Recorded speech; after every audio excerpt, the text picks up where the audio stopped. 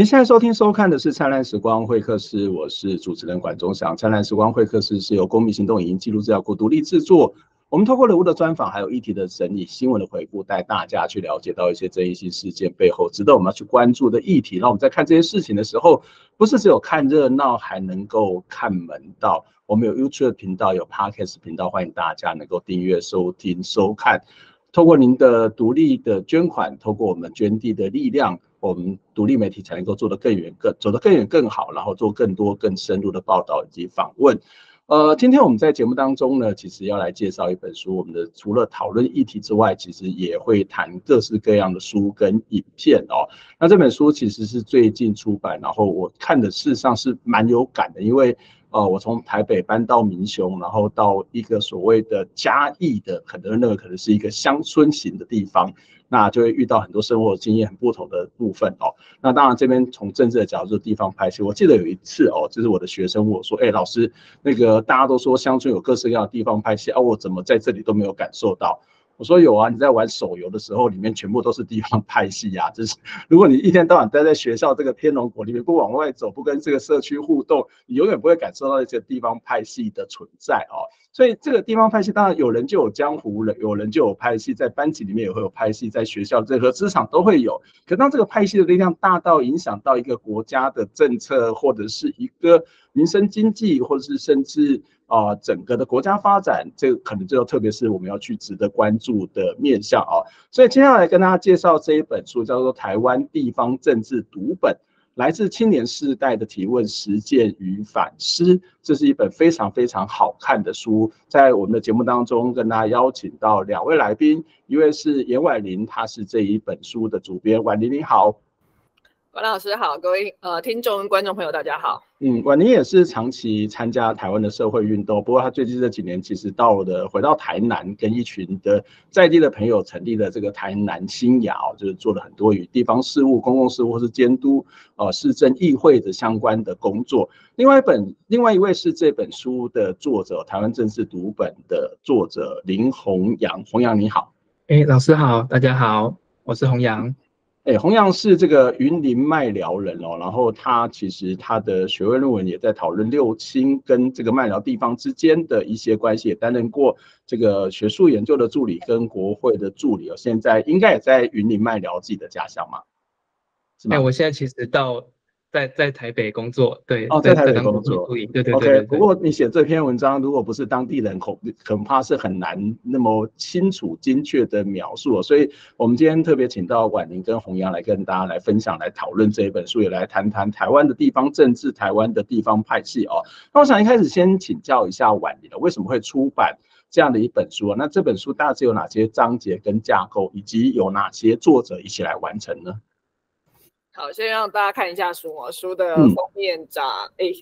长这个样子哈。那呃，书的封面其实很有趣，是一只金鱼，然后漂浮在空中，那它上面承载了一些呃城市啊、建筑物这样子。那这张图很有趣，这张图是我们用生成式 AI 做出来再去修的底图哦。嗯嗯。那我觉得一方面也是呼应这个时代了，我们已经来到了一个跟上个世纪完全不一样。有网络，然后呃，AI 的技术大幅快速的进步当中的时代，但台湾对于地方政治的讨论，其实很多时候是停在两千年之前的。嗯，这个当然有非常多的因素，呃，其中一个非常大的因素是在当年讨论地方政治是有它政治上的目的，因为当时有一个所谓集权的威权的国民党政府嘛，那我们要去理解这个。这个政府是怎么形成的？他怎么去控制地方的政治？那个时候有一波讨论。可是两千年后，民进党执政开始政党轮替之后，反而在政治学界对于地方政治的研究变少了。那再加上，其实两千年以后，呃，我们的宪法制度在选举上面有很大的修改。譬如说，两千零七年那一次立委的席次减半。然后立法委员的选举从呃大选区多席次变成单一选区两票制，嗯，这些其实都改变了地方政治的生态，而且是非常从框架性的去改变哦。但我们其实如果站到一间书店里面去，我们就会发现我们太少一般面向大众的书在讨论地方政治。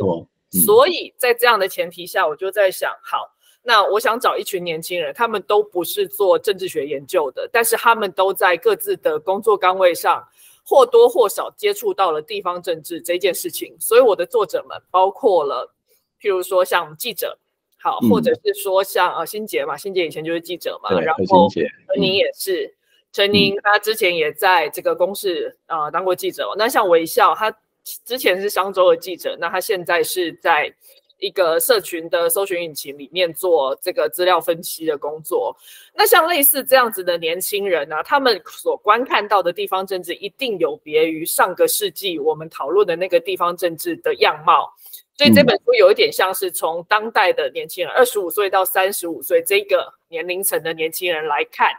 那我们邀请每一位作者从一个题目来谈他观察到的地方政治。那整本书的架构大概分成四块，第一块就是我们在谈，呃，推动地方政治很重要一个动力就是选举。那我们每一次在谈选举的时候，就会开始去讲啊，空气票啊，组织票啊，然后文宣战啊，组织战这一类的。那在有网络的时代的文宣战，其实会跟没有网络的时代差非常的多。那社群媒体的经营就会变得非常的重要。所以我们第一篇就来谈。社群媒体包括 Facebook 或 Line 怎么去影响一场选举？哦，那这一篇就是我们刚刚说在社群引擎搜呃这个搜寻的平台在做事的这位微笑写的。那第二篇我们谈的是农会，因为农会就是传统。等一下，我相信这个部分关老师也会有很多想要聊的哦。农会其实是在我们的地方政治里边非常重要。的一个结构哦，那它掌握了金流也好，那整个农产品的产销也好，但它怎么去影响我们的地方政治，在这一篇里面有一些讨论。这样，那这是第一个部分，我们谈选举里面的操作是怎么回事。嗯，那第二个部分，我们来谈台湾有别于其他地方一些很特别的选区的制度，譬如说台北的平地原住民。嗯，我们一般人都知道选举，可是我们很少人搞得清楚山地原住民跟平地原住民他们的选举怎么选。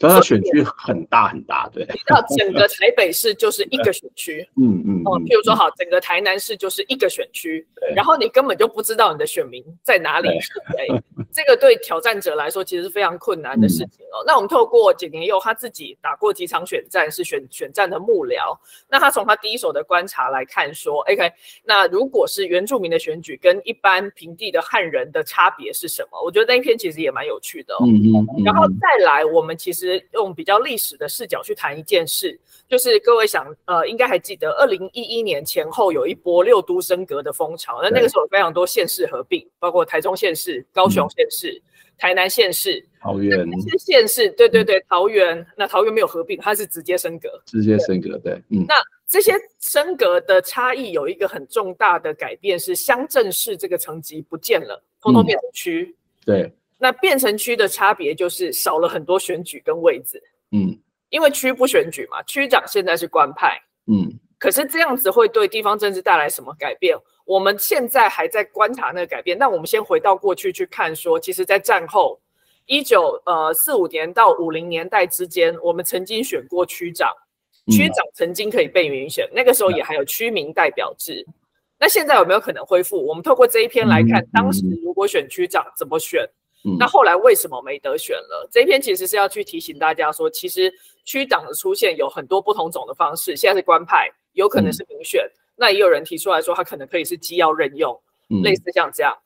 好，那这几篇其实就是在告诉我们比较大的选制是怎么发生改变的。接下来的三篇，我们就聚焦在中部地方的一些很细节的描述。非常精彩的三篇，对，是是是。一篇包括是首达他自己本身是台中市的市议员，他从他第一手的观察来看，候选人现身是怎么回事，选民服务是什么，哈。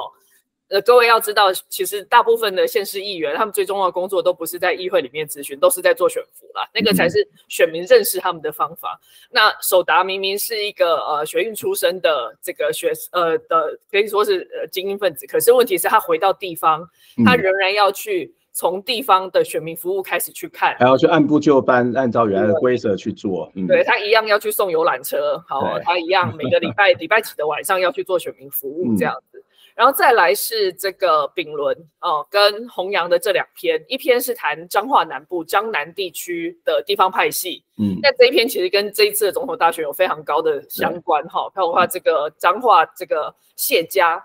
这个谢家他们是怎么崛起的？那他们现在怎么样透过地方派系去掌控这个地方？那吴英宁他们家吴家又是怎么样用他们在地方的士绅的角色，试图去对抗这个谢家？现在就是他们两个要选立委嘛。谢家的谢依凤跟吴怡宁要选立委，所以看这一篇你就会知道，原来可以看到他们在过去这数十年来彼此纠葛之间的那个非常绵密的关系。是是是是，没错。然后弘扬这一篇，等一下让他自己仔细讲哦。但是我觉得非常有趣的是，我们把一个新的角色带进来，就是企业六亲，就是一头大到不能倒的企业怪兽。哈，那怎么样在最近十到二十年的期间，他们怎么样去改变企业跟地方的关系？来形塑新的这个地方政治的结构。等一下，弘扬一定会跟我们有很多精彩的分享。这样，那再来，我们还是要去谈的，就是说，我们每次想到台湾地方政治，想到比较多的都是西部的县市，嗯，我们很少想到离岛，很少想到东部。可是我们也知道，我们在二十年间出现了一个花莲国，花莲国，我们一个国花莲国王傅昆萁在那个花莲后去争位，这样。那花莲国是怎么出现的？好，蔡中岳在这一篇里面帮我们做了很完整的这个脉络的描述。那当然，澎湖也是啦。哈，我们这一本书还没处理到金马，那希望下一本有机会。澎湖很有趣，是我在看新杰跟依婷这篇文章之前，我其实不知道澎湖的军系。其实是有很大的影响力的。嗯，我们以前都会觉得哦，金马才是战地，可是事实上，澎湖有更悠久的战地的历史。那大家有兴趣也可以去看这一篇哦。嗯，那最后一篇是这整本书里面比较学术气息比较浓厚一点的，它是去讨论一个问题，就是上一个世纪啊，政治学的前辈吴乃德老师提出了所谓的 NB 四重体制来解释国民党如何透过 NB 四重体制来控制台湾的地方派系。可是我们过了二三十年了，这套体制还适用吗？如果适用，可能可以用在哪些地方？如果不适用，是为什么？那新的东西是什么？透过这一篇对理论的爬书。跟反省，我们来想想，那这个时代我们怎么讨论台湾的地方政治？这整本书的架构大概是这样。嗯嗯，我我我觉得如果有机会，真的是要去写一下金门。金门其实我最近这几年也去了好几次，我觉得好有趣哦。就是说，除了那个历史文化跟台湾有很大的差异之外，例如说那边的家族、宗族、姓氏跟公务体系，那个。这个可能不比台湾更单纯哦，那个复杂的程度或是那个交融的程度是非常非常好玩，值得去做研究。那刚刚我一直很担心的，就是我每次在访问书或是访问这个影片的时候，都很担心爆雷。我在担心婉玲自己会爆了很多的雷，但还好你没有把所有的东西都讲完。待会就是真的还是要找这本书来看，因为我自己在看的时候真的是津津有味，然后有很多很多的共鸣啊。那特别刚刚讲到一段，我其实也蛮有感，就是在台湾。我觉得不是那种大众的政地方政治的读本少，事实上，在我自己所知，做地方政治学系、做地方政治研究的，其实也不太多。对，就是我自己也会跟我们政治系老师说啊，你们怎么不来研究一下米球，研究一下嘉义？这其实也是一个很很值得我们再去关注、去深究的地方。那大家能够讲出来，大家就是刚刚谈到。这个呃吴乃德的这个 N P 四重，或者是呃另外一本也蛮精彩，是陈东升早期写的这个《金泉城市》，我觉得那本那本是非常非常好看的，这个可以对我们在这个有关于谈地方政治的时候有更多的这些基础或是认识哦。那当然这一群的作者其实相对之下也是刚刚比较年轻，特别是在书就直接。表明就是来自于青年世代的提问、实践以及反思哦，所以有人就会说这本书的这个作者群事实上就是所谓的太阳花世代，然后当然在里面有很多的作者群事实上也经历过所谓的太阳花学运这样的一个历程哦，太阳花运动这个历程哦，所以。我我不晓得，就是从这批作者的这个写作的经验或生命经验来看，就是这些所谓的太阳花时代有什么样共同的生命经验跟共同的特质吗？从这个这一代的青年人在提问地方这件事情，会跟老一辈的人会有什么不一样吗？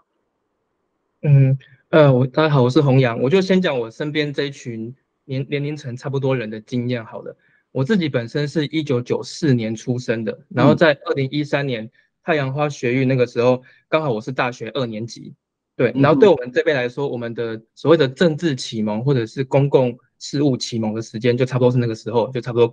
高中或者是大学一二年级的时候，所以刚好在整个大时代时间点来讲，就是在马英九总统的第二任的任期里面，然后有很多有有有一些有争议的事情的的那段时间，所以那个时候无论是整个大的时代的局势。还是我们个人的生的的经验都有一个很大的转变。对，就个人来讲的话，我们那个年龄层其实刚好刚摆脱可能国小到高中那种学校教育的那种可能由上而下或是比较单方向，然后很窄化的那种知识的传递。我们开始知道说，呃，外面有一个更大的世界，而且是可以透过自己去探索的，而不再只是像以前在学校一样很被动的去吸收知识，所以那种被有点像是被解放的感觉，其实很深刻。嗯，然后我们也很有那样子的热忱。然后在这种情况下，我们一开始关注政治看到的刚好也就是那个时候国民党执政后期的可能有一些贪污腐败的状况，或者是跟中共很紧密，或是一些民主自由的紧缩等等的。所以，我们那个时候对于不管对国民党也好，或是对于中共政权的。并吞的那种恐惧，我觉得是非常的深刻的。嗯，所以等于说我们那时候这群人有一个共同的敌人，就是国民党或者或者是中共。嗯，但是有了敌人，也是需要长出我们自己的价值观还有思考体系。然后刚好就是在太阳花运动的前后那几年，整个进步价值的阵营算是一个百花齐放的状态，不管是各种 NGO，还是新的政党，像是社民党、时代力量等等的。就在各种议题上面，就都有提出很进步的论述，而且也都有经过一些转化，让我们这一辈可能不是不是政治圈的这些人，我们这些新手，让我们这些人也都可以看得懂，然后也愿意去参与这样子。这等于说我们那辈那一辈的人是在这种情况下长成我们现在这样子的思考体系跟价值观的。对，所以呃，在太阳花前后那两三年，我们在思考体系上面有很大的成长。然后，但是到现在其实又已经过了六七年嘛，今年是太阳花的十周年嘛。那过了六七年之后，我们这群人也开始可能从学校毕业，然后出社会，然后从当时可能只单纯从书上、从网络上，然后从可能抗议的现场去了解社会的那种愤青或者觉醒青年。因为我们开始进入到社会之后，也看到了很多社会运作的真实的状况。不管我们回去做田野，还是我们回去选择参与政治，我们其实都看到了很多。所谓的真实的那种运作的状况，所以我觉得我们心态也开始有所转变了。虽然说我们的理想可能还是一样，可是对于说要怎么样达到理想中间的那个方法或是路线，我们可能在经历过这几年在社会的历练之后，也有很多不一样的想法。对，所以我觉得这个是我们这个世代从二零一三年那前后开始启蒙，然后学到很多知识，然后后来进呃随着随着进入社会，毕业之后进入社会，然后后来我们也有慢慢的很大的一个。心态上还有做事方法上的转变。嗯，我我这有个学生，我知道学他的硕士论文是写反各康运动的学生这一群人他的政治社会化的过程。那我们事实上在做研究的过程中，事实上跟太阳花的这个年纪并没有差很多。然后发现有两个很有趣，一个是历史教育上面很大的不同，就是你们已经不像我们在读很多的很高比例的大中国的历史。另外是公民教育的不同，就是你们也不用去谈读什么三民主义，然后这个公民。公民社会的课本当中有更多的思辨跟讨论，或者是更多实物上面。不过这还是在一个知识上面。那刚洪雅特别谈到说，那个价值体系的建立，它会有一个共同的世代经验。不过这个世代经验可能会回到一个基本的现实，特别是我在看这本书的作者里面，其实有蛮多人都是。返乡，或者是回到地方去从事政治工作、社会运动，或者甚至呃有些可能已经开始在经商了，就是在澎湖的这个依婷他们哈，或者是有些是在做研究。那这一群的年轻人哦，就是大家可能都在往北部跑，或者往都会跑。可是你们回到自己的家乡，或是到所谓的地方去，这个过程当中会有什么样的困难，或者是刚刚你谈到的那个政治现实、社会现实是什么？有什么需要重新学习的地方吗？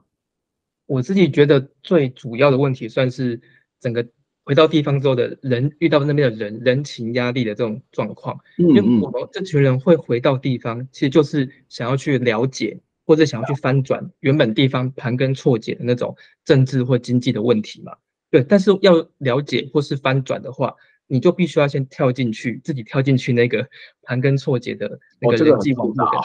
对那个里面，然后去跟那些人玩闹，取得他们信任，其实才有可能可以改变他们的那种可能性。嗯，但是就在这个之前，我们可能就要必须要先暂时服从这一套旧的，我想要打翻的这个的旧逻辑这样子，然后也有可能就这样子，可能就跟着沦陷进去了这样子，这是一个部分。而而且就是说这套。所谓的我们想要打破的旧的运作逻辑，这套或是人际的网络，其实已经在地方运作了好几十年，甚至好几百年了。嗯，它已经根深蒂固了。那我们一个年轻人要想要进去，然后翻转这个已经好几十年的根深蒂固的这个逻辑，我觉得那个难度其实是非常非常高的。所以我自己回到地方，回到云林，其实就要去，比如说要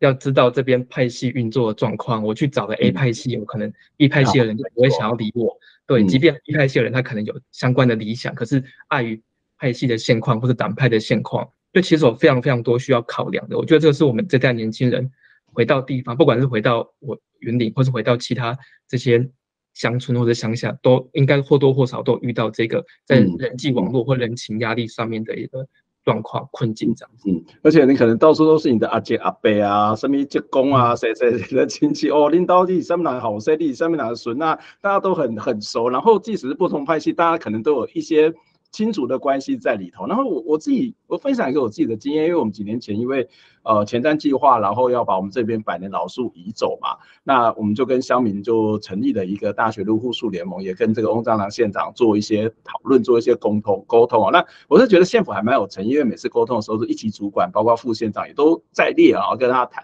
可是呢，毕竟我们翁章也是这个学院出身，他就跟我说：“哎，管老师，那我们来看看怎么办哈。”他说：“我有三个方法，一个就是呢，因为他是前瞻计划的钱嘛，他说，要不然我把我就举个例子，我把前瞻退回去，我们就不要做，不要不要移树，然后我们路也不要修了哈。”我想说，天哪，你这个是要挖坑让我跳吗？就是。地方没有资源，然后地方非常需要前瞻计划，只是我们对前瞻计划钱用法不同，我们也要退回去啊！啊，你都退回去的话，那我不是成为民雄的千古罪人吗？我想说这个坑实在是太大。第二个也蛮厉害，说哦，你们要谈到公民参与，对不对？要谈到所谓的这个社会参与，那我们来办村子里面办公投。他说：天哪，你这个是要让我们分裂吗？那以后那我还不是住在那个村子，他住在村子里面的互助联盟的这些朋友，那以后都不用在这里混了，因为本来民主社会就有不同意见。哦，所以它真的非常非常的复杂，就是就会让我觉得说啊，你在台北搞运动，你跟在在乡村里面搞运动，它事实上根本是完全不同的逻辑。就像刚刚洪勇提到说，你要考虑到亲族的关系，然后考虑到他未来都还要在这里共同生活。那怎么样去让大家意见可以彼此的去接纳，或是做一些公共讨论？那个公共的概念跟我们在台北或者在城市地区那个公共是完全不一样了哦。那我接下来想要请问完，就是这本书谈的是地方政治，那我问一个很大的题目，好，就是这个地方政治跟全国性的政治在台湾有什么不同呢？就政治不就是政治吗？为什么还要特别的去强调地方政治？哎，其实，在政治学，呃，我是政治学界出身的，一定听过一句 cliche，一句那个陈腔滥调，叫做“所有的政治都是地方政治”。那我们如果从选举的角度来看，就是今天，呃，虽然我们明年一月十三号要选的是中央选举，是总统跟立委。可是事实上，立委也是一个地方一个地方选出来的，那总统也是大家一票一票投出来的。所以其实我们会发现说，即使是中央层级的选举，我们在谈的都还是地方政治啊。譬如说，好，我们就以彰化谢家为例好了。你看，像谢点玲跟谢依凤，他们可能就分属两个国民党内的不同的派系，一个支持郭台铭。然后可能一个支持侯友谊嘛，那这样的事情其实就已经在影响我们的中央大选。第一个，我们先谈的是所有的中央的事情都是透过地方的人选出来之后去形成那个民意。但第二个，我们还是要回过头来谈中央跟地方的分权，嗯，会造成什么样子的差异？好，譬如说，各位要知道，在宪法里面其实就有去规定哪一些事情是中央要管的，哪一些事情是地方要管的。那大家其实常常会有一个刻板的印象，就是八点档连续剧里面都会有这个，呃，一个小房间里面，议长坐在一张沙发上，然后跟一些不知道哪来的人在谈土地开发利益。为什么呢？这是因为。呃，土地开发这件事情，土地相关的政策，好是在在这个分权里面属于地方的部分比较多，所以地方可以去决定我的这个都市计划、土地计划要怎么处理。第二个是我的税要怎么收，那这件事情就会造成地方上面金钱跟权力结构一个很容易结盟的地方。所以我们对对对，所以我们如果在谈这个政治的时候。只看中央的政治，我们会看不到这些细节。嗯，所以第一个谈，我们谈的是选举推动的那个政治里面，中央即使是中央选举也是一样靠地方的推动。第二个选举，我第二个不是靠选举在推动，是靠政策跟治理在推动的这一个层次，那我们就是要去看中央跟地方的分权会造成什么样不一样的影响。嗯，我觉得大概可以先从这两个角度去谈，为什么我们必须关注地方政治？而且一般人呢，一想到地方政治，很容易会有一个错觉，就是地方政治就是黑金，嗯，地方政治就是社会新闻，嗯，那其实会把我们跟地方政治拉得很远，因为我们会觉得我们参与不进去地方政治的逻辑里面，这会让更多人不不敢去碰政治，反正黑金嘛，对对对，就是把它异世界化，觉得那个不是我的世界，好，我进不去。那我们这本书有点想要打破这件事情，就是要告诉大家说，没有啦，那你其实有一个运作逻辑，没有那么难懂，你也可以懂，你也可以进去，这样才有办法让一般人觉得，原来我也可以理解地方政治，甚至进一步去改变地方政治。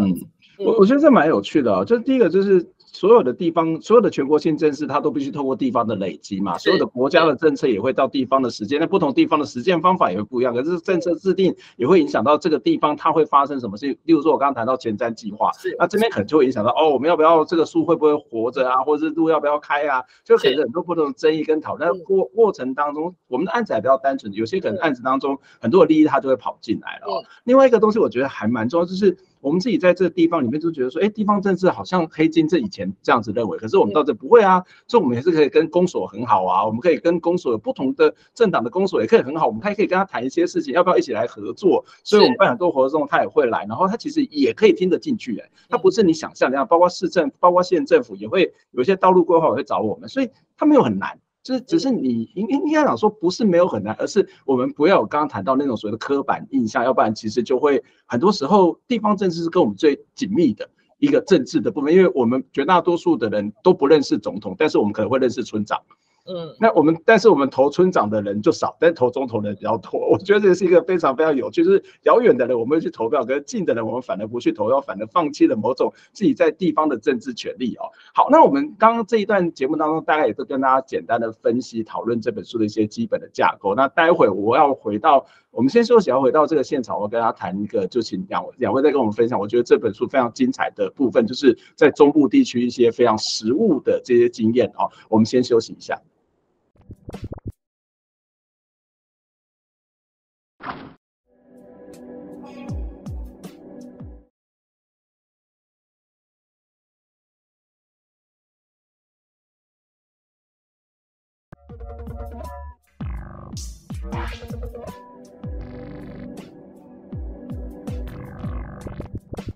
欢迎回到灿烂时光会客室，我是节目主持人管中祥。灿烂时光会客室是由公民行动影记录资料库独立制作，我们会讨论一些社会议题以及书籍，还有包括影片，希望透过这些书籍、影片的讨论或是议题的讨论，能让我们对这个地方有更多的了解跟认识，更能够去。呃，关心我们的政治，关心我们社会，甚至你也可以投入到整个政治或社会的参与跟关怀。那也很期待你可以透过捐款的方式来支持我们。透过您的捐款，我们才有办法真正的独立走得更远更好。让我们一起听见微小的声音。今天在节目当中要跟大家谈这一本书，非常好看，叫《台湾地方政治读本》，来自青年世代的提问、实践与反思哦。今天在两啊有两位来宾，一位是这本书的。主编严婉玲，婉玲你好，哎，主持人好，那各位听众朋友大家好。那另外一位是洪阳，也是这本书的作者之一。洪阳你好，大家好，主持人好，我是洪阳。刚呃两位大概给我们介绍一下了这本书以及这本书的作者群，还有这本书的作者回到地方的一些经验以及一些经历啊。那我接下来就想要回到这本书里面，我自己觉得非常好看，因为我喜欢看实际的例子，我喜欢看那个真正的亲身的经验，因为。在学术界待久了，觉得学术界真的很无聊哦，就是有一些更更踏实、更扎实的东西很重要啊。所以，呃，我我自己在教一门课叫草根行销，然后我们其实会读一本书，就社区如何动起来。那社区如何动起来里面，其实就会谈到非常多呃屏东那边的地方派系。那我在我也会去开始做一些地方派系研究，就发现很有趣哦，就是台湾早期这有人就有江湖人，有人就有派系啦，这很正常。好，那但是我会发现早期的地方派系好像都是士绅为主。然后医生、老师的比例很高，因为他们其实可能一方面是有这个知识的这个声望，另外一方面，因为他们接触的人多嘛，医生会接触到很多人，以前常常去外面看诊啊，然后你就救别人，所以他这个所谓的社会声望跟这个支持度就会越来越高。可是后来我们看到地方派系好像不是长这个样子，就像刚刚谈到的，哎，想到地方派系就会想到黑金，想到地方政治想到黑金，所以在现实上面也是蛮多是所谓的黑帮啊，或者所谓的派系，或者是这个财团把持，为什么会有这样的一个转变呢？嗯，因为蛮多人会说这个所谓的被黑帮把持、被财团把持，很多人会说那个开端其实是在一九九零年代，可能李登辉时期，那个时候开始中央政府跟地方的这些黑道。就所谓合法性危机啊，就是要借那个地方的力量进来巩固政权嘛，哈。对，就是我觉得目前台面上听到蛮多人是从这个角度来切入，但我自己认为这个有点像是从中央往地方看的视角。那如果从地方的视角往外看，我自己会觉得，呃，比较重要的背景是在刚好是在一九七零八零年代以后，农村的人口开始大量的外流，我觉得这个是一个很关键的因素，也是那个多质化的过程。对对对，那个时候刚好农村的农业产值下降，然后都市又刚好工商业开始起飞，所以农村大量的尤其是青壮年的人口都外流到都市去讨生活。对，尤其是以以我。所处的云林沿海地区来讲，我们那边自然环境是非常的恶劣，我们都叫做风头水尾。对，就是，嗯，呃，海风很强，然后又是整个农业灌溉网络算是最末端，所以淡水的资源很少。然后我们那边靠海嘛，所以土壤的盐分又非常的高，所以环境自然环境非常的恶劣，然后导致农业的收成很差。所以跟其他农村比起来，我们那边的农业收成又更差更惨。对，所以在都市工商业发达之后，我们这边几乎七八成以上的青壮年人口都跑出去都市讨生活了。对，所以等于说整个农村的青壮年人口都空掉了，只剩下是说原本农村里面的知识精英，他们其实也往北部去走了。对我，我觉得，呃，因为我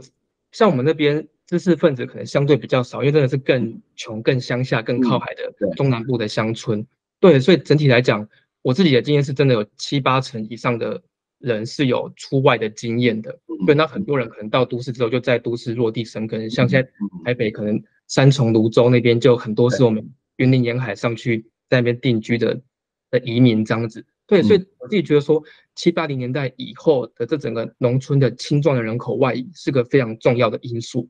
对，所以农村可能就只剩下老人或者是很穷的人这样子，但农村的这些公共事务。跟这些政治的选举的位置，它还是还是在啊。那要给谁做？对，而且你要担任，你要能够选举选得上，你其实也要有一定的人脉的支持，还有金钱的资源。所以也不太会是那原本那些很穷很穷的人可以选得上。对，所以就我自己的经验来讲，尤其是在我们云林沿海的麦寮跟台西，在这个时候黑道。这个这个角色就出现了，但这个出现其实也跟人口外流到都市有有一定的关系。对我就以台西为例子来讲好了。对台西，如果比较了解我们那边那边的人都会知道，说台西在以前有个称号叫做“流氓的故乡”。对对对对。然后这个状况其实就是因为这些人口大量外流到都市，然后这些出外打拼的年轻人其实到了都市，人生地不熟嘛，他们就会倾向跟同乡聚集在一起。对，然后成群结党啊，年年轻气盛这样子，而且因为我们沿沿海地区原本的那个生存条件就很差，所以可能民风就比较剽悍一点。对，所以到都市地到都市发展之后，这些年轻人民风又剽悍，又成群结党，所以就很容易形成了有点像是帮派或者是黑道这样子的组织。这个可以去看电影《少年安》，大概就是讲这一段。对对对对对，完全就是讲我们那个园林海边的那个故事这样子。对。对，然后这些黑道他们算是在都市打拼，而且他们跟原乡也保持了一个一定的连结。他们有时候在都市做工啊，或者是做一些可能呃赌博或是色情那些地下产业，他们寄到钱之后会寄赚到钱之后会寄回去乡下，或者是他们也会回乡，然后招募这些小弟一起去北部外去打拼这样子。所以这些这群黑道其实他们是在都市跟原乡之间来来去去的，所以他们就形成了一个新的社会群体。然后他们在他们说在都市，因为赚钱的机会比较多，然后也比较容易赚到钱，所以他们赚够钱的话，回到故乡，如果要选乡民代表啊，选乡长、选议员，其实都相对容易，因为他们比那些留在乡下的人还要更有钱嘛。对，而且人脉也很够。对，所以其实从一九九零年代之后，台湾的西南部的沿海地区，这些政治场域其实就很大比例被这些可能年轻的时候去外地打拼的这些黑道分子或者帮派分子。回到故乡来参选，然后就选上了。对，像是呃云林县的台西乡，他从一九九零年代到现在，所有的每一任的乡长都是都是这种回乡发展，那可能有一些黑道或者帮派的背景，或者是他是黑道的老婆来参选这样子。每一任乡长都是有这样子的背景。对，所以我觉得这个是黑道的部分。然后如果是财团的部分的话，就就连接到我我这这篇文章的主角就是六亲台塑六亲的这个。的这个位置，对，嗯，主要说就是在二零一零年之后，那个时候六亲发生了很严重的很多起严重的爆炸案，对，然后发生爆炸案之后，六亲就开始想要呃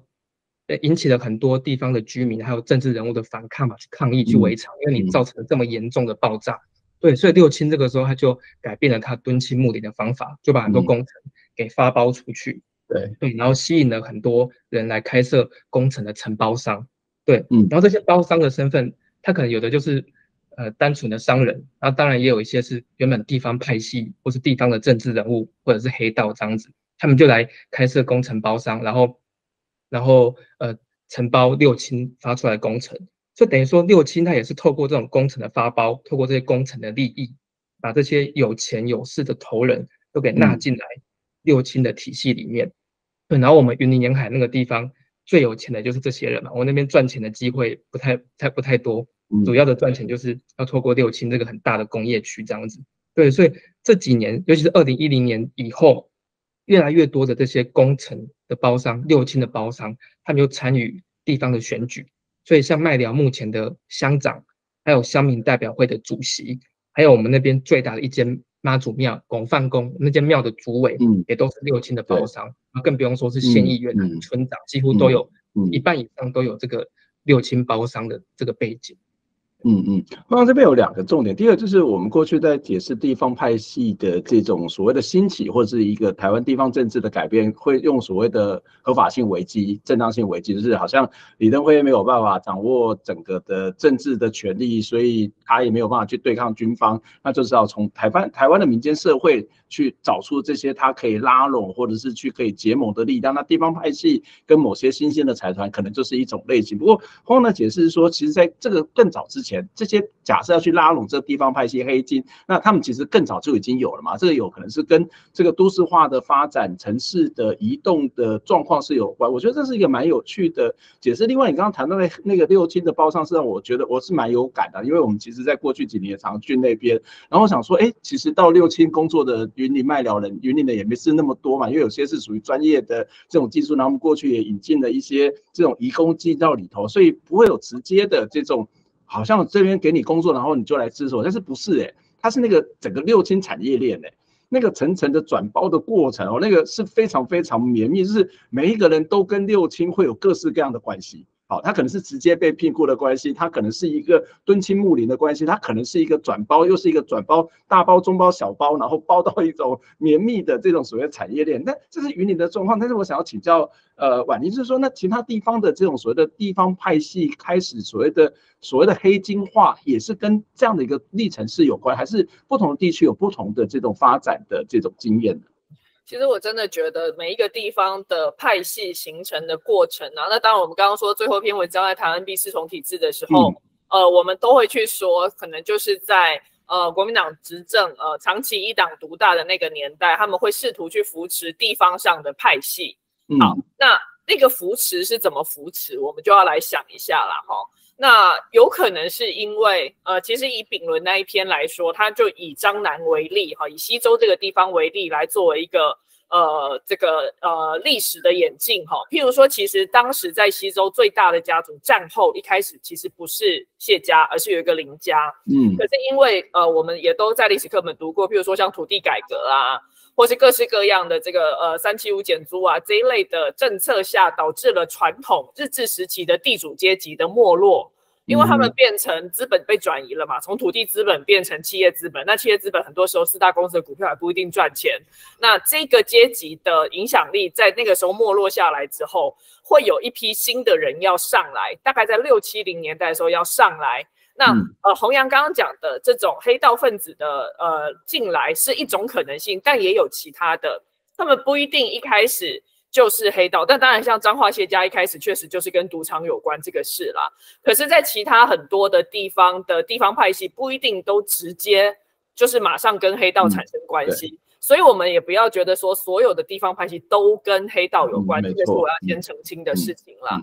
那第二个事情是我们再来想说，地方派系在一九七八零年代的时候发生了什么样的奇妙的质变哦？我举一个有趣的例子，就是旧台南市省辖市时期的台南市。那因为我之前做台南的一个展览的时候，我们在看旧台南市的政治发生过什么样的变革，我发现一件很有趣的事哦。一九五零年代开始，台湾有地方自治之后，有议员选举以后，其实会有很大一批人是当时大家觉得说，哎。战后大家会觉得当议员就还是要有读书啊，要大专以上的学历，要温文儒雅，要是士绅阶级。可是，在七八零年代，这件事情改变了，有钱的人买得起票的人就当选了。所以七八零年代的时候，我们去看整个议会的学历变化，是年纪变轻了，学这个很有趣。嗯，这个是一个很有趣的现象。它不一定是黑道，它可能是有钱人。那他的有钱，就是在经济起飞的那一段时间有钱，那他想要掌握一部分的政治权利。所以，我们在这个时候就要把另外一件事情想进来，就是跟着民主化过程。发展中一个很重要的原因，经济成长促进民主化的这件事，也导致了地方的政治关系的改变。嗯，我觉得这个，所以不一定是只有黑道这个因素啦，或者是说移民这个因素。那像台南可能就不是一个，呃，台南市跟台南县也不一样啦。台南县可能就因为是农业县份，会比较像刚刚。弘扬讲的云林会有大量的移民出去，可是其实像旧台南市啊，它其实不是一个移民这么明显的国的地方的时候，它的因素就会有其他不同的因素来来处理。那我觉得再讲回来，或许我们等一下会谈到另外一题，就是农会。对，农会在这个时候其实会扮演另外一个网络的角色。嗯，那这个网络从日治时期到战后，其实产生了它。角色上的变化，一开始农会的组成，农民组合的组成是要让大家可以团结起来，一起对抗什么样的体制。可是到了后来，因为农会有选举，有选举代表什么，就有位置。那这个位置可以干嘛？可以决定资源的分配。嗯，而且农会的选举是间接选举，我先选出一层代表，对，然后再选往上一层一层往上选这样子哦。那这样子的结构就会导致。派系的分配就会变得更重要。那另外一方面是农会除了可以选举有很多的位置之外，还有钱。农会会有金库，嗯，农会你可以跟农会借贷。这到现在为止，农渔会都是哈。譬如说像嗯台南市，就是我们的前议长就跟渔会借了很多钱，嗯，那这样子的事情其实到现在为止都还很明显的，就是资源跟资源里面包括两个，一个是位置，一个是钱的流动。都会跟农会有很紧密的关系，农渔会这样子的人民团体有很紧密的关系。嗯。嗯，这个农会事实上相对下也蛮有趣的，这个其实就是所谓的一个一个经脉上面的掌握。那因为事实上农会当然有部分是在协助，应该我们要先讲，就是农会还是有很多种，农会里面的成员也有很多很认真在推广农业事务，或是农业的行销，或是农技的改变。它不是我们纯粹想哦，农会就一定是坏的。我觉得这个各个观念也必须要打破。对，不是说农会是坏的，它是地方政治里面很重要的一个很重要的角色。但是它最重要的角色就是它的借。代的关系，嗯，就因为你想象说啊，农村是比较穷，然后农夫他必须要看天吃饭，有很多的看天田，然后那我这时候欠收怎么办啊？没有关系啊，我就先把你买下来，把你的谷子买下来，然后我这边还是可以先给你钱，然后你就慢慢还啊啊，这是零钱嘞，我这是帮你该管理的问题，哎，这地方政治很重要，就是我帮你解决你的问题。我给你做面子，刚刚谈到首达，谈到那个现身，哦，你有民主哦，上面议员来啊，代表来啊，哦，我我。你是讲做钱啊，但是有人来嘛，吼啊，这个面子就很重啊。另外就是说啊，我我今嘛无钱啊，你来给我看一下，好啊，今嘛无钱，你先钱借借啊，啊啊啊，不行你也是啊，慢慢来还啊。虽然有时候还不出来就变超贷的状况，可是事实上这个就某种程度上它是被照顾到的，哈，所以这事实上是一个很有趣，这也是我觉得。不是一个纯粹的 N B 四从理论可以解释的，里面有非常多的人情世故、传统的那种所谓的华人的文化，或者台湾的那种乡村的直朴淳朴的那一种关系、那种角色哦。可是这个其实也会出现一个很有趣的状况，就是。呃，刚看到可能是地方的政治，它控制的经脉，或是地方的某些的机构，不然容易会控制的经脉，控制的借贷。它当然它可能会转换它的政治资本，它同时也去解决这个地方穷苦人的某种的问题，它就建立了它自己的社交网络、社会资本。可是另外一部分，我觉得六亲是一个更有趣，它是从那个弘扬书里面，它是超越蓝绿，哎。就在台湾能够超越蓝绿的不太多哎，这六亲是超越蓝绿，你可以跟我多讲一下这个六亲如何去超越蓝绿，然后这个六亲到底怎么去掌控这个云林地方政治的这种状况，甚至他也控制了某种的环境运动，让他可能就因此而逐渐的消消退，或者是他的力量是消减的。嗯，因为其实像呃早期我们麦寮那边。早期的政治版图其实跟其他中南部的农村是蛮类似，就是有两个对立的派系，一个是林派，一个是许派。林派人比较多，他就掌控了直选性质的这个乡长这个位置，所以他掌控，他就掌握了乡公所。那那个许派人比较少，所以他就掌握的是比较间接选举性质，像刚刚婉玲提到的农会，对，所以就一个掌握乡公所，一个掌握农会，然后两边就是互相。这跟就很多地方掌握村长跟社区发展协会一样，就是他永远都有不同的政治位置，刚好大家都可以去卡到一个他最适合的地方。嗯，对。但就是六亲这个大企业的进驻，就是有点像是改变这个原本传统的这种政治运作的模式。对，六亲它其实是呃，在一九九零年代确初期的时候确定要落脚在麦寮云林麦寮这个地方。对，然后一九九四年开始填海造陆，然后一九九八年就开始营运。对，然后营运一开始就。有点风平浪静，然后没有什么事情。但是在我刚刚提到二零一零年，这是一个对我们麦寮来讲很重要的一个时间的节点。在二零一零年的前后，我们六轻发生了很多起很严重的爆炸案。对，然后刚好那个时候也有一些呃科学家来这边做研究，说哦六轻的排放它确实是有毒的污染，然后也造成居民健康很大的影响这样子。所以二零一零年那个前后，六轻。在我们麦寮人的心目中是一个比较负面的存在了，因为它带来了很大很很多的污染，跟它跟健康上的影响这样子。对，所以在二零一零年之后，六轻就改变了它的敦亲睦邻，或是说工厂跟地方互动的这个模式。在二零一零年之前，就是因为六轻它是台塑企业的嘛，台塑你要变成台塑的正式员工，其实你是要相关的可能化工或机械的背景，嗯，要透过考试才可以考进去的。对，所以虽然说他在卖寮设厂，可是能够变成台塑正式员工的人，其实非常非常少的。对，所以等于是在那之前，我们卖寮人其实，呃，对，没有直接那么直接的享受到六亲所带来的这些。我我有一个朋友从五亲，然后跑到六，就从云林啊宜兰，然后原本要在宜兰干，然后后来跑到云林，他就从宜宜兰然后搬到云林去住，所以那跟跟地方没有关系，他就是一个专业者，他就跟着六亲去移动。对对，所以就是当二零一零年那时候六轻发生很多爆炸案之后，很多的居民就去抗议，很多的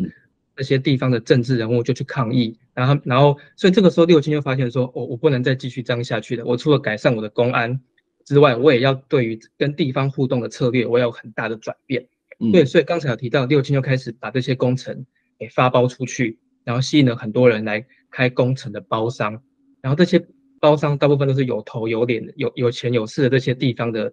政治人物，或者是有钱的商人。然后这些人开了包商之后，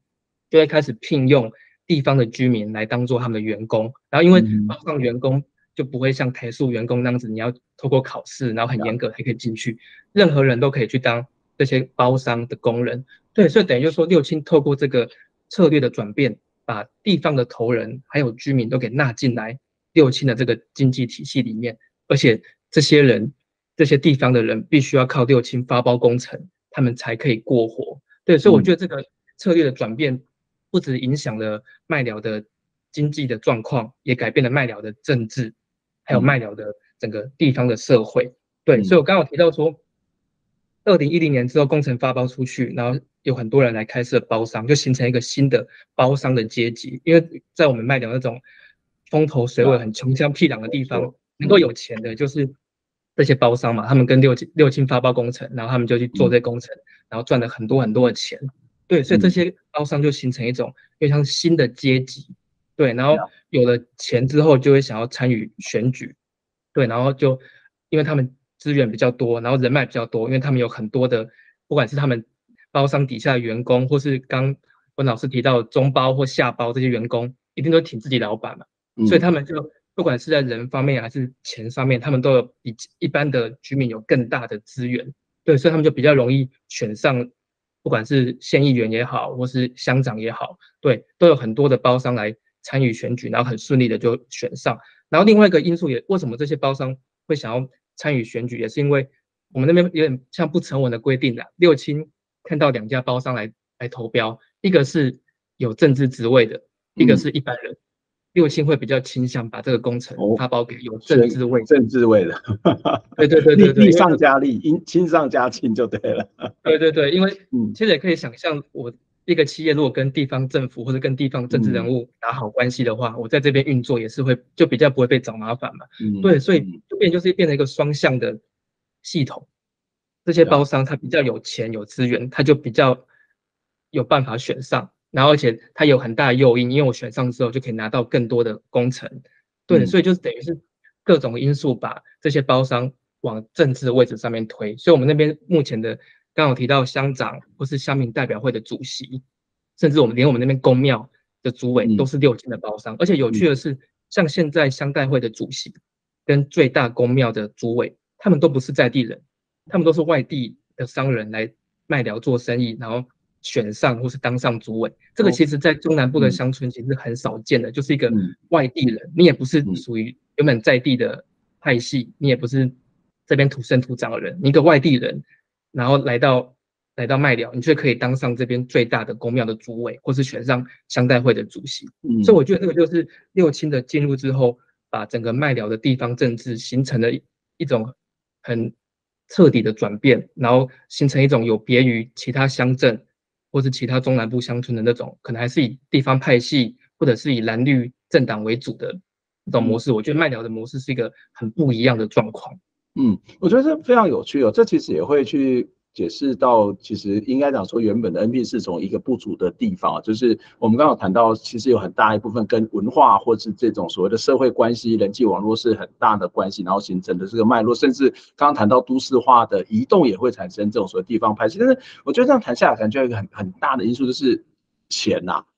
就是这个这个我不知道说怎么解决，就是也许大家会讲说，这也会涉及到整个台湾的地方政治有没有可能转变，例如说，呃，越穷的乡镇。越到选举的时候，越会去欢迎这些工业区的进驻。那为什么？因为工业区进驻之后，大家会想说：哦，那边那边那边开始。有有工课，台湾者咱开始有发电啦，啊，污染上面要紧不要紧嘛，咱无饭他食，啊，刚刚讲上面污染，好，这个其实我们会看到常常类似的这种状况，所以我们看到可能彰化很多的工业区，或者过去的国光石化的例子，或是六千的例子，其实也是这样，或者是有另外一种就是好的，这个从化区啊，这个化了啊，化了之后，我家就被划到从化区里面，我就会发大财啦，然后就会有财团要来买我的土地啦，啊，所以这个市长贪污有什么关系？贪污什么不重要嘛？重要是我也跟他一起发财了嘛。啊，他贪污啊，但是他有照顾到人民啊。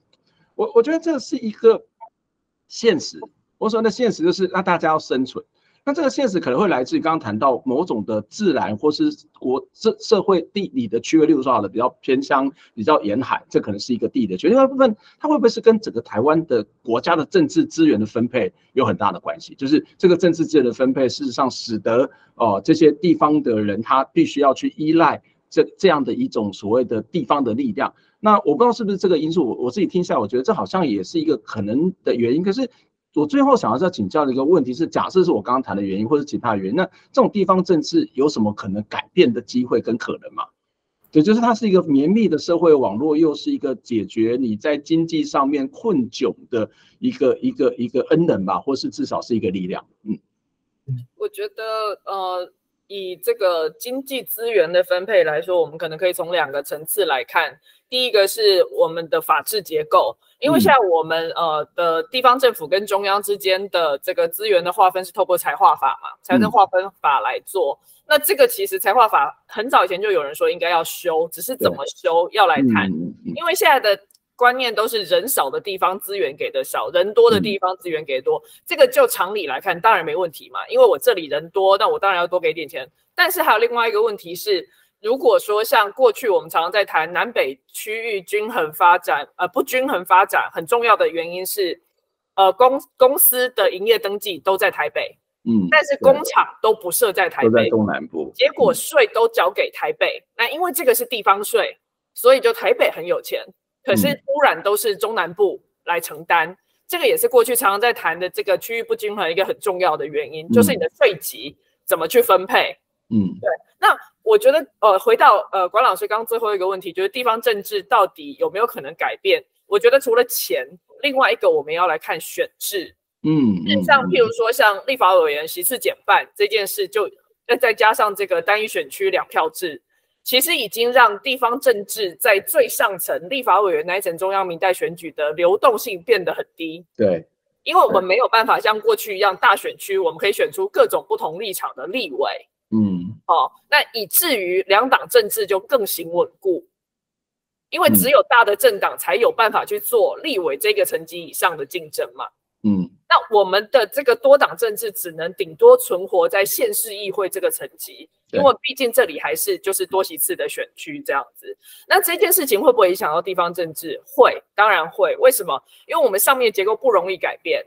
所以那个权力结构不容易产生哦新的流动，这个是一个蛮严重的问题。那第二个问题，我觉得大家也可以来思考的就是，那如果以现在这个情况来看。两党政治很难被改变，然后地方政治的流动有限度的话，我们还没有其他参与政治的方式。嗯，这也是我们在写这本书的时候一直想要跟大家谈的一件事。参与政治其实不是只有透过投票或是选举或是被选举而已。其实这几年我们在除了直接民主、代议民主之外，还有一种东西是参与式民主嘛？对。那虽然说，呃，老师也做很多社区的工作，一定也知道这几年常常在推这种参与式预算啊之类的这样的东西，审议式民主啊，看起来都是很小很小的事情。可是如果说所有的人都愿意从很小很小身边的事情开始，愿意去参与、去决定，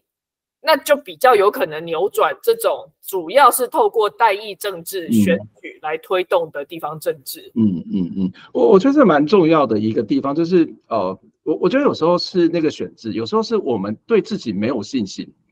就是说，常例如说我们在搞运动的时候说啊，他会讲说啊不好啦，这这不好啦，或者说啊我我那那吹意外，我说买买不行，买一吹意外先看那家己当那该管不是，上面带这种吹意外，你吹意外那不一定被插你，啊插你嘛可能跟你没去，所以有时候是那种 empower，就是什么那个大家对自己有没有信心？我如果连自己的这种所谓的。这么临近的地方政治，你都不想去关心？你说你要去关心总统大选，我觉得那个很跳跃，很快。洪洪阳呢，就是你自己觉得，就是做一个六亲，做一个呃，不是六亲，就是一个云林的卖寮人，然后呃，整个被吃的死死的，怎么怎么办？这地方政治有什么改变的机会跟可能吗？那刚才婉玲提到的是可能资源的分配或者是选制的改革，那我这边也可以补充一下我们在地的一些。一些看法，就是虽然我刚刚提到，好像六亲把麦寮整个控制的死死的，然后整个笼罩在麦寮的上空的那种感觉，但其实我觉得还是有一些希望存在的。我觉得这个就牵涉到我们在地文化的认同这个部分。嗯嗯，对。像最近这几年也是有一些我们地方的呃地方创生的团队，或是一些社区发展协会，或是一些文史文史调查者等等的，他们就希望让大让我们麦寮人，尤其是针对麦寮人，让我们知道说。麦寮不是只有六亲，麦寮还有自己的历史文化，包括我们这边也有人去呃富裕小麦的种植，因为麦寮这个地名的由来，就是因为以前种很多小麦。对对，然后所以我们这边还有很多的歌仔戏的传统也在麦寮啊。对对对对对，台湾台湾第一部的那个台语的电影，就是我们那边的最早期的歌仔戏的嗯所拍摄的。对，所以就是开始有这些地方的文史人士，还有一些地方创生的人士。开始在我们那边推动，说让大家知道麦寮不是只有六亲，麦寮的衣食父母也不是只有六亲，我们还是有自己原本的文化的底蕴，对，还有我们一些自己的认同，说六亲以外的认同可以长出来的，对，所以虽然说这股力量可能目前还很小，对，可是我觉得其实长久慢慢推动下来，我觉得是可以抱持的希望的，就是让大家觉得，让尤其是让麦寮人觉得说，我们不是只有六亲，我们。天，我们的天上不是只有六亲这个啊，衣食父母，我们还有其他的东西，我们自己的文化底蕴。我觉得这个对于我们自己的信心，就刚刚关老师有提到信心的那个部分，我觉得这种文化的附赠，或是重新找回我们这边的在地特色，这会是另外一条很重要的路线。我我觉得这蛮重要。其实我我这几年就是从台北搬到后民秀，我觉得我非常能够感受到那种地方对自己没有信心，或者是。刚刚嘎迪伯下这件事情，其实不会啊。我觉得民雄有三百年的历史，然后以前有三家戏院，然后有这么多的每年的大师爷庙都有数十万人来，哦，那很厉害。这个跟很多地方比起来，它是没有的，它有它的独特性。我会常跟这些小学老师讲说，啊，你不要一天到晚，就是你可能要多加谈一些文化教育、乡土教，要不然他才会知道我这里跟别人不一样啊。所以。如果今天我们只是就刚刚洪洋谈到一个分析，我觉得很有道理，就是我可能因为我的经济的需求，我移动到其他地方去，移动之后就很难再回来了，所以它可能变成是同乡会，然后回来大概就刚刚谈到政治的这种资源是有关系的。可是你今天当然地方的经济发展很重要，资源经济分配很重要。是如果今天的钱别人赚的，别的地方赚的比较多，你可能就会走。可是那你有没有什么想要让你留下来或回来？除了工作之外，就是刚刚谈到的一个认同嘛？